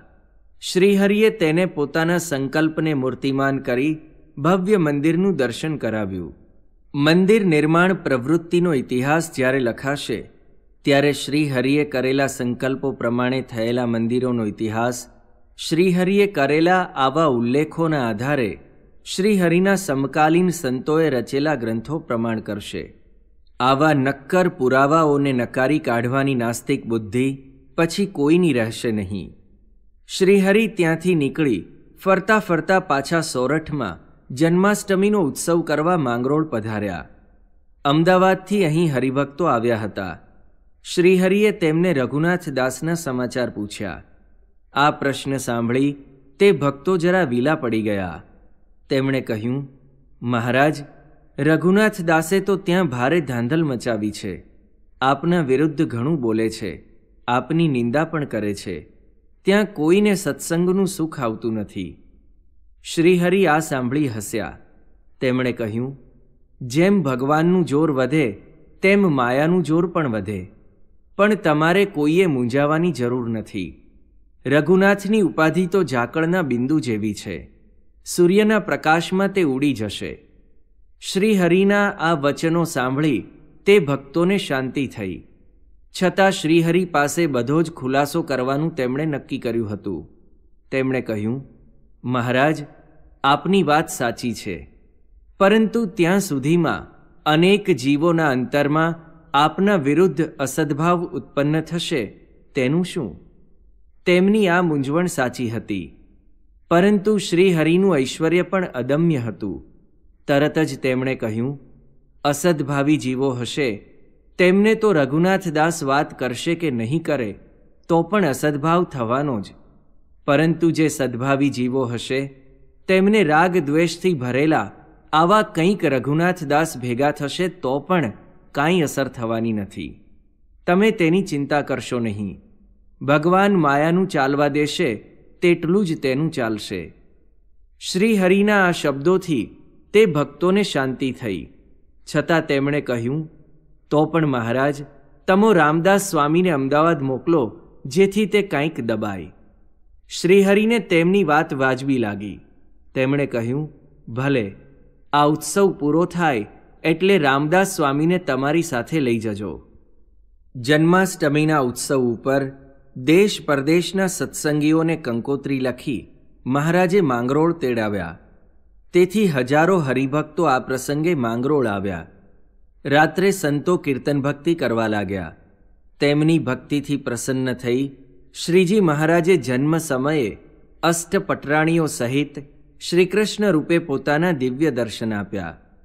આવો અદ્ભુત પ્રતાપ મહારાજે આ ઉત્સવમાં બતાવ્યો હતો. આ વર્ણી સાક્ષાત ભગવાન છે, એવો તે પ્રસંગે આવેલા તમામ હરિભક્તોને નિશ્ચય થયો. નવમીને દિવસે મહારાજે સભામાં સૌ સંતો હરિભક્તોને ઉદ્દેશીને વાત કરી, સૌ સંતો હરિભક્તો સાંભળજો. મોક્ષ માટે તમે સૌ અહીં ભેગા થયા છો, માટે મોક્ષ ન બગડે, તેમાં વિઘ્ન ન આવે, તે માટે ત્યાગીઓના તથા ગૃહસ્થના ધર્મો તમને કહું છું. પછી ચાર વર્ણ તથા આશ્રમના જુદા જુદા ધર્મો મહારાજે કહ્યા. પછી બોલ્યા, જે ગૃહસ્થ હરિભક્ત છે, તેમણે છ નિત્યકર્મ કરવાના છે. પ્રથમ સ્નાન કરવું, પછી ધ્યાન કરવું, પછી પૂજા કરવી, સત્પુરુષનો સમાગમ કરવો, ભગવાનના ગુણ ગાવા અને છઠ્ઠું, ભગવાનના અષ્ટાક્ષર મંત્રનો જાપ કરવો. ત્યાગીઓએ અષ્ટ પ્રકારે બ્રહ્મચર્ય પાળવું. સ્ત્રીઓથી ચાર હાથ દૂર રહેવું. આ પ્રમાણે ધર્મ પાળશે તો મોક્ષ માર્ગમાં કોઈ વિઘ્ન આવશે નહીં. શ્રીહરિએ પછી રામદાસ સ્વામીને બોલાવ્યા.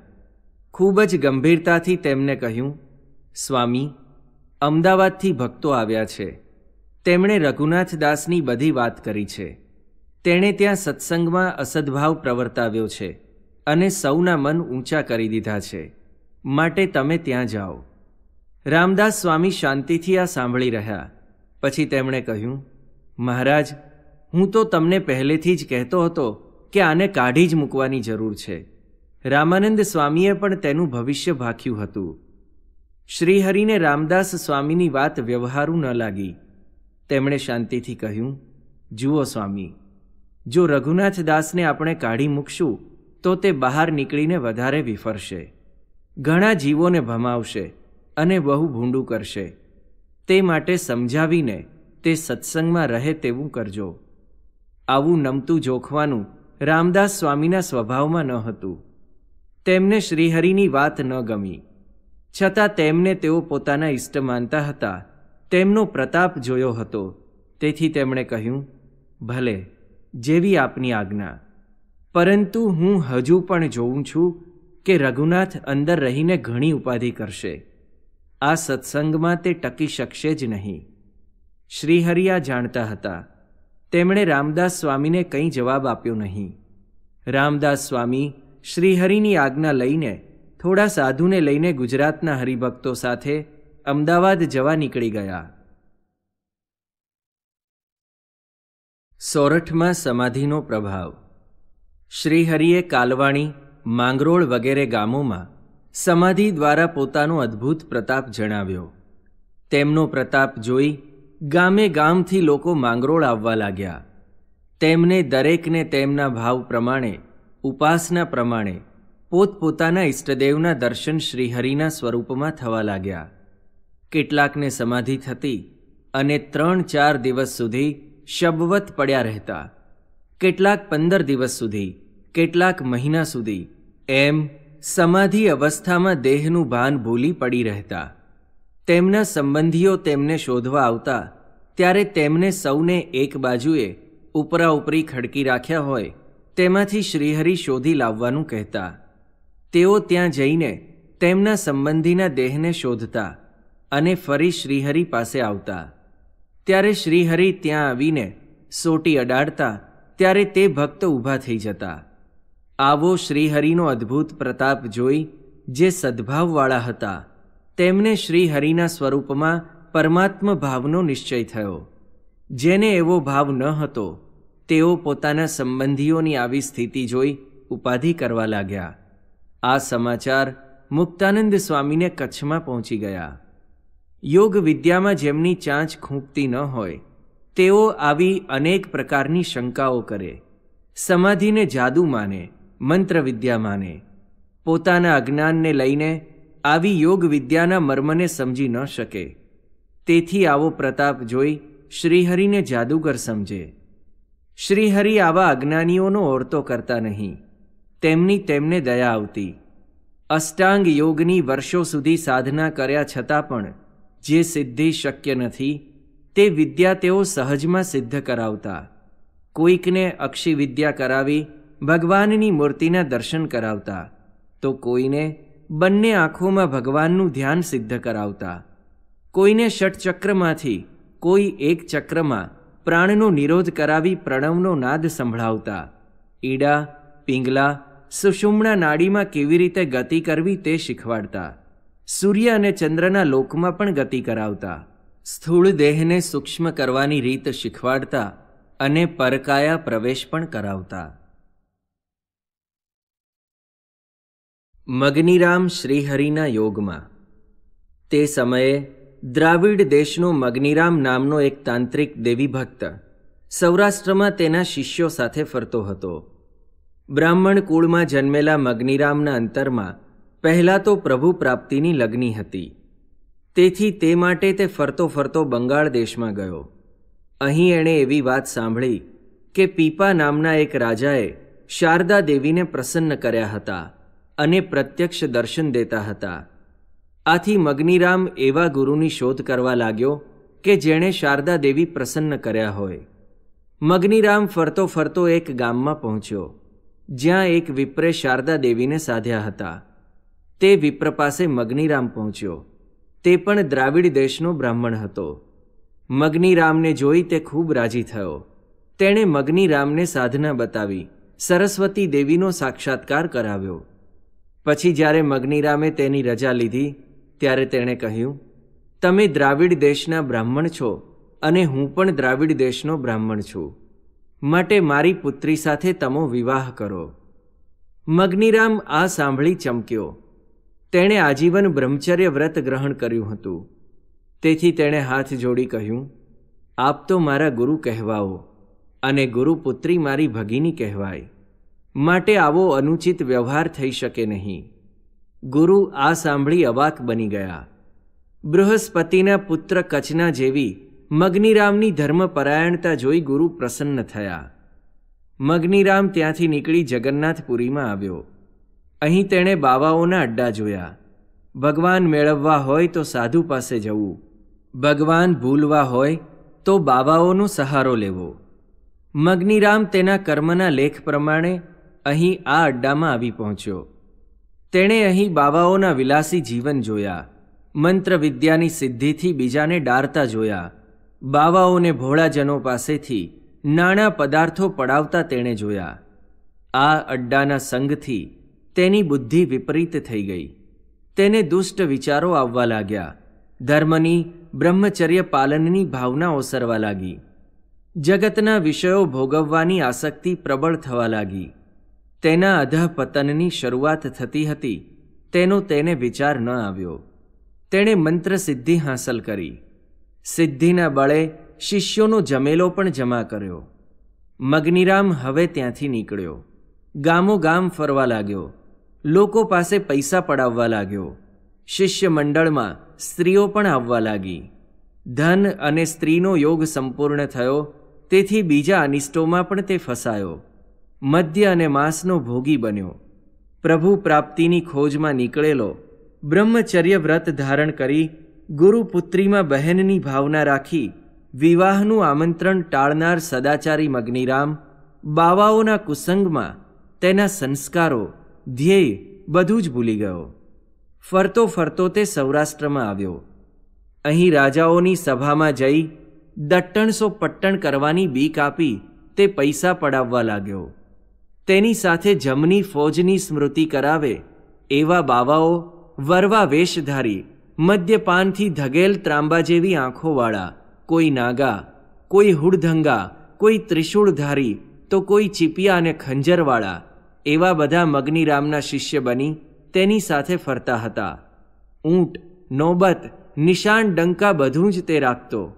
તેનો આ ઠાઠ જોઈને જ લોકો ડરી જતા. રાજાઓ નમતું જોખી નાણાં આપી દેતા. ફરતો ફરતો તે પોરબંદર આવ્યો. અહીં ગોસાઈજીના મઠનો વૈભવ જોઈ તેની દાઢ ગળી. ગોસાઈજીને મંત્રનો પ્રભાવ બતાવ્યો. તેને પકડીને માર માર્યો અને પછી મનમાની રકમ પડાવી. બીકના માર્યા ગોસાઈએ તેને કહ્યું, અમારા જેવા દેડકા તો તે ડાંભ્યા છે, પણ મણિધર તને નથી મળ્યો. તારો ગર્વ તો જીવન મુક્તા ઉતારશે. મગ્નિરામ આ સાંભળી ચમક્યો. તેણે જીવન મુક્તાનું નામ સાંભળ્યું હતું. જગન્નાથપુરીમાં બાવાઓની જમાતમાં ક્લેશ કરાવી, તેનો નાશ કરનાર નાનકડો વૈરાગી અહીં સૌરાષ્ટ્રમાં આવીને ભોળાની જમાતમાં ભગવાનથી બેઠો લાગે છે. મગ્નિરામ વિચારે ચડી ગયો. તેને ગોસાઈના શબ્દોથી ઝાળ લાગી. તેણે નિશ્ચય કરી લીધો. જીવન મુક્તાને જીવનથી મુક્ત કરી દેવાનો. તરત જ તેણે માંગરોળની વાટ પકડી. માંગરોળમાં તેણે શ્રીહરિના પ્રતાપની વાત સાંભળી. ત્યાંના નવાબ અને કાજી પણ શ્રીહરિના શિષ્ય બની ગયા હતા. પોતે જેનો પરાભવ કરવા આવ્યો છે, તે જીવન મુક્તાના પ્રભાવની આ વાતો સાંભળી તેનું અંતર ક્રોધાગ્નિથી બળવા લાગ્યું. તે નવાબ પાસે થઈ શ્રીહરિ પાસે ગયો. સાથે શિષ્યોનો સમૂહ હતો. અંતર્યામી પ્રભુ તો હસતા મલકવત દેખતા જ હતા કે શ્રેયાર્થી પુરુષ કુસંગના યોગમાં ફસાયો હતો અને ભ્રષ્ટ થયો હતો. તેમને તેની દયા આવી. પરંતુ મગ્નિરામ તો તેના જુસ્સામાં હતો. સીધો જ મહારાજ પાસે તે આવ્યો અને વેગમાં બોલ્યો, અરે જીવન મુક્તા, આવું પાખંડ કેમ ચલાવો છો? ભગવાન થઈને ફરો છો, પણ અમારા જેવા સિદ્ધોની કાંઈક બીક તો રાખો? શ્રીહરિ શાંતિથી તેની વાત સાંભળી હસ્યા.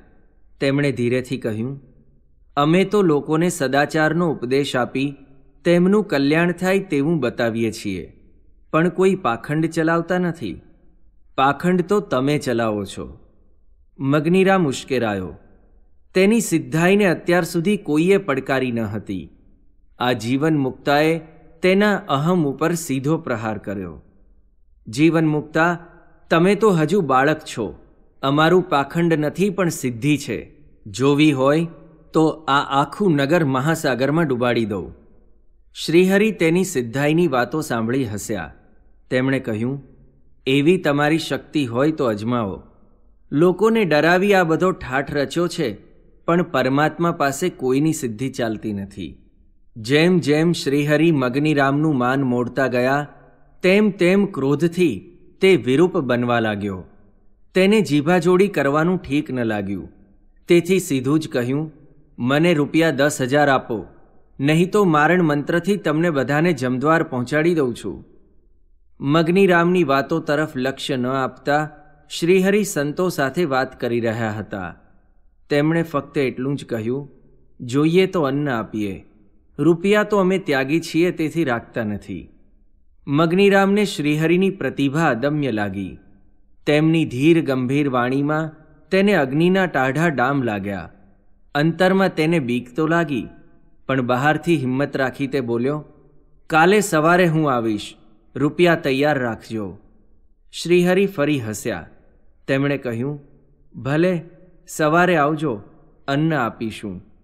મગ્નિરામ ધૂંધવા તો તેને ઉતારે ગયો. તેણે શારદા દેવીની આરાધના કરી. દેવી પ્રત્યક્ષ થયા. દેવીએ તેને સ્મૃતિ કરાવી દીધી. તેના સંસ્કારની, તેની મુમુક્ષુતાની ભગવાનની પ્રાપ્તિ કરવાની તેની અભિપ્સાની. મગ્નિરામાં સાંભળી રહ્યો. તેની આંખો આગળ, તેના સદાચારની, બ્રહ્મચર્ય વ્રતના પાલનની, ભગવાન પામવાની ઉત્સુકતાની સ્મૃતિ તાજી થઈ ગઈ. તેની આંખમાંથી આંસુ પડવા લાગ્યા. પશ્ચાતાપના અગ્નિથી તેનું અંતર શુદ્ધ થતું ગયું. તેણે બે હાથ જોડી દીધા. માતાને દીન ભાવે કહ્યું, મારી માં, હું મારક ભૂલ્યો. બીજે રવાડે ચડી ગયો. આજે તમે મારી સાન ઠેકાણે લાવ્યા. એટલું બોલતા તો તે ગદગદ થઈ ગયો. થોડી વાર થંભી તેણે કહ્યું, માં, મને સીધા રાહ પર મૂકો. ભગવાન ભેટાડો. માના એક ઈશારાથી મગ્નિરામનું અંતર શુદ્ધ થઈ ગયું હતું. માં તેથી પ્રસન્ન થયા. તેમણે કહ્યું, તું જેની પાસે તારી સિદ્ધાઈ બતાવવા ગયો હતો, તે જ પરમાત્મા છે, અક્ષરેશ છે. તારું કલ્યાણ તેઓ જ કરશે. મગ્નિરામની આંખ ઉઘડી. તેને તેની સિદ્ધિમાં, સિદ્ધાઈના તોરમાં ધૃષ્ટતા લાગી. આખી રાત તેને ઊંઘ ન આવી. વહેલી સવારે તેણે ઝટ ઝટ સ્નાન તથા પ્રાતઃવિધિ પૂરા કરી લીધા. પછી ધોયેલા સફેદ વસ્ત્રો પહેરી તે શ્રીહરિ પાસે ગયો. તે વખતે કેટલાક સંતો પ્રભાતી પદો ગાતા હતા. કેટલાક ધ્યાન કરતા હતા. કેટલાક પૂજા વિધિમાં બેઠા હતા. તેણે ત્યાં આવી સંતોને દંડવત કર્યા. રાતના એઠા વાસણ ઉટક્યા. ને વાસીદુવાળી એક સાધુને પૂછ્યું, શ્રીહરિ ક્યાં છે? પાછળ સભામાં બિરાજે છે. જવાબ સાંભળી તે બીતો બીતો તે તરફ જવા લાગ્યો. જેની ધાકથી ધરા ધ્રુજતી હતી, રાજાઓ પરેશાન બની જતા હતા. તે આજે બાવીસ વર્ષના શ્રીહરિ પાસે ભીરુ બનીને જતો હતો. શ્રીહરિએ દૂરથી તેને આવતો જોયો. પરંતુ જ્યારે તે પાસે આવ્યો, ત્યારે તેના પ્રત્યે જોયું પણ નહીં. મગ્નિરામ શ્રીહરિને દંડવત કરવા લાગ્યો. છતાં શ્રીહરિ તો સભામાં વાતો જ કરતા હતા. એક સંતે શ્રીહરિને કહ્યું, ગઈકાલવાળો દેવીભક્ત મગ્નિરામ આવ્યો છે. શ્રીહરિએ તેની સામે જોયું. તેમની તેના ઉપર દ્રષ્ટિ સ્થિર થઈ. તે આંખોમાં કરુણા હતી. પરંતુ સાથે સાથે મગ્નિરામની કસોટી કરવા માટેની તીક્ષ્ણતા પણ હતી. મગનીરામ શ્રીહરિ પાસે આવ્યો. તેમનો ચરણ સ્પર્શ કર્યો અને હાથ જોડી બોલ્યો, પ્રભુ, મારા ગુના માફ કરો. આપને ઓળખ્યા ન હતા. મારી સિદ્ધિના અભિમાનમાં આપની સામે ગમે તેમ બોલ્યો હતો. પ્રભુ, મારા જેવા નીચ ઉપર, પાપી ઉપર દયા કરો. મારા પાપ પ્રજાળો, મને પવિત્ર કરો. મારે સાધુ થવું છે. શ્રીહરિ તેની આ કાકલુદી સાંભળી હસ્યા. તેમણે કહ્યું, મારા નિર્માની સંતોમાં તમે પોષાશો નહીં. તમારું અભિમાન ગળ્યું નથી. ફરી ક્યારે તે પ્રગટી ઉઠે, તેનો કોઈ વિશ્વાસ અમને નથી. મગ્નિરામની આંખોમાંથી આંસુ પડતા હતા. તેણે કહ્યું, પ્રભુ, આપ સાચું કહો છો. મારો વિશ્વાસ આવે તેવું કોઈ કાર્ય મેં કર્યું નથી. શોધવા નીકળ્યો હતો ભગવાનને પરંતુ ભેટી ગયા ભમરાળા બાવા. તેમના સંગથી હું ભ્રષ્ટ થયો. પાપ કરવામાં પાછું વાળીને જોયું નથી. સાચું છે પ્રભુ. આપ મારો શી રીતે વિશ્વાસ કરો? આપના નિર્મળ હંસ જેવા સંતોમાં મારા જેવા બક સમાય નહીં. શ્રીહરિને તેની વાણીમાં પશ્ચાતાપનું ઝરણું દેખાયું. છતાં તેને હજુ વધુ કસોટીએ ચડાવવાની તેમની ઈચ્છા હતી. શ્રીહરિએ તેને કહ્યું મારા સાધુ મંડળમાં રહેવું તમારે માટે કઠણ પડશે. તેમ છતાં, તમે શિરની જટા ઉતારી નાખો. જટાના વાળ સંતો જે રસ્તે જતા હોય ત્યાં પાથરી દો. તેના ઉપર સંતો ચાલે. તમને એ કબૂલ હોય તો વિચાર કરીએ. મગ્નિરામના હૃદયમાં આ સાંભળી અતિ આનંદ થયો. તેણે કહ્યું, અહો પ્રભુ, મારા એવા ભાગ્ય ક્યાંથી હોય કે મારી જટાના વાળ ઉપર સંતોની પદરજ પડે? બાવાઓને જટા પ્રિય હોય છે. તેનું તેમને અભિમાન હોય છે. છતાં મગ્નિરામે શ્રીહરિની વાત તરત જ સ્વીકારી લીધી. તેમાં શ્રીહરિના શરણ માટેનો તેનો ખપ જણાતો હતો. શ્રીહરિ તેની આ વાત સાંભળી પ્રસન્ન થયા. પરંતુ તે પ્રસન્નતા તેમણે મુખ ઉપર બતાવી નહીં. તેમણે કહ્યું, એટલું બસ નથી મગ્નિરામ. તમે ઘણા નિર્દોષ જીવોને સંતાપ્યા છે. ઘણાની હિંસા કરી છે. તે તમારું પાપ બાળવું હોય, શુદ્ધ થવું હોય, તો આ સંતોના જોડા એક ગાંસડીમાં બાંધી, માથે ગાંસડી રાખી સંતોની પ્રદક્ષિણા કરો. અહીં છાણ વાસીદું કરવાની, વાસણ ઉટકવાની સેવા કરશો ત્યારે શુદ્ધ થશો. શ્રી હરિ જાણતા હતા કે મગ્નિરામનું અંતઃકરણ પાપના પશ્ચાતાપથી અને પોતાના શરણે આવવાની ઈચ્છાથી જ શુદ્ધ થઈ ગયું છે. છતાં બીજા સંતોને તેની પ્રતીતિ આવે તે માટે તેમણે આ પ્રમાણે કહ્યું. મગ્નિરામના અંતરમાં આનંદ વ્યાપી ગયો હતો. શ્રીહરિએ તેને સ્વીકારવાની હા કહી તે જ તેના મહદભાગ્ય હતા. તેણે તરત જ કહ્યું, પ્રભુ, આપની દયા અપાર છે. હરિશ્ચંદ્ર રાજા જો સત્ય માટે શ્વપચને ઘેર વેચાયા હતા, ત્યારે આપે તો મને આવા ભગવદ્ ભક્ત સંતોની સેવા બતાવી છે. આપની આજ્ઞા મારા માટે શિર સાબંધ્ય છે. શ્રીહરિ તેના ભાવથી પ્રસન્ન થયા. સૌ સંતોને પણ આશ્ચર્ય થયું. શ્રીહરિનું સ્વરૂપ તેને શારદા દેવીએ સાક્ષાત દર્શન દઈ ઓળખાવ્યું હતું. તે જ્ઞાનના ભાવથી મગ્નિરામે સંસારનું સુખ ઝેર સમાન કરી દીધું હતું. તેણે દાઢી, મૂછ, જટા ઉતરાવી લીધા. જટાના વાળ રસ્તા ઉપર પાથરી દીધા. સૌ સંતોના જોડાની ગાંસડીવાળી માથે ઉપાડી સૌ સંતોની પ્રદક્ષિણા કરી. આ બધી ક્રિયા કરતાં કરતાં શ્રીહરિની મૂર્તિ પ્રત્યે તેની દ્રષ્ટિ હતી. પછી શ્રીહરિએ તેને બોલાવ્યા અને કહ્યું, હવે સ્નાન કરીને અમારી પાસે આવો. મગ્નિરામ સ્નાન કરી શ્રીહરિ પાસે આવ્યો. શ્રીહરિએ તેને ભાગવતી દીક્ષા આપી અને અદ્વૈતાનંદ નામ આપ્યું. મગ્નિરામનું આ રૂપાંતર સૌરાષ્ટ્રના સૌ રાજવીઓએ જાણ્યું, મઠોના અધિપતિઓએ જાણ્યું. સૌને લાગ્યું કે સ્વામિનારાયણનો પ્રતાપ સાચો. છતાં માનની અટંટાઈમાં શ્રીહરિ પ્રત્યે અંતરમાં સદ્ભાવ પ્રગટ કરી ન શક્યા. માન એ મોક્ષ માર્ગમાં મોટામાં મોટું વિઘ્ન છે. ઐશ્વર્યથી ભગવાનપણું સમજવું નહીં. બીજે દિવસે શ્રીહરિ દૂધ તળાવડીએ નાહવા પધાર્યા. સાથે સંતો હરિભક્તો હતા. રામચંદ્ર શેઠ પણ હતા. સૌએ શ્રીહરિ સાથે સ્નાનનો આનંદ લીધો. સ્નાન કર્યા પછી રામચંદ્ર શેઠે શ્રીહરિને કહ્યું, મહારાજ, અહીં સ્નાન કરવાની તો સગવડ છે, પરંતુ લુગડા ધોવા માથે પથ્થરની મોટી છીપર નથી, એટલે આપદા પડે છે. શ્રીહરિએ પૂછ્યું, તો શું કરવું? રામચંદ્ર શેઠને શ્રીહરિનો ચમત્કાર જોવાની ઈચ્છા થઈ હતી. તેમણે કહ્યું, મહારાજ, પેલે છેડે એક મોટી હજાર મણની છીપર પડી છે. તે જો અહીં ગોઠવાઈ જાય, તો સૌની આપદા ટળી જાય. રામચંદ્ર શેઠને ચમત્કાર જોવાની ઈચ્છા થઈ, તેથી શ્રીહરિને આશ્ચર્ય થયું. ભોળા હોય, જ્ઞાનમાં જાજુ ન સમજતા હોય, તેમને કદાચ ચમત્કાર જોવાની ઈચ્છા થાય તે તો સમજાય. પરંતુ રામચંદ્ર શેઠ જેવા સમજુ ભક્તોએ પણ, જો ચમત્કારોથી ભગવાનપણું માન્યું હોય, તો તે ખરેખર ભૂલા પડ્યા છે. એવા ચમત્કાર તો દૈત્યોએ પણ સર્જ્યા હતા. હિરણ્યાક્ષ દૈત્ય આખી પૃથ્વીને પાતાળમાં લઈ ગયો, તે કંઈ જેવો તેવો ચમત્કાર ન ગણાય. પરંતુ લોકોને કાંઈ નવીન જોવાની ઈચ્છા થયા જ કરે છે. તેવું જોયા પછી પણ, તેમની જિજ્ઞાસા સંતોષાતી નથી અને અજ્ઞાન ટળતું નથી. શ્રીહરિએ રામચંદ્ર શેઠને કહ્યું, તમે એ પથ્થરને હાથ અડાડો અને તમારી પાછળ પાછળ જ્યાં તમારે મૂકવો હશે ત્યાં આવી જશે. રામચંદ્ર શેઠને આ સાંભળી આશ્ચર્ય થયું. શ્રીહરિ તો તેમના દ્વારા આ અદ્ભુત કાર્ય કરાવવા ઈચ્છે છે.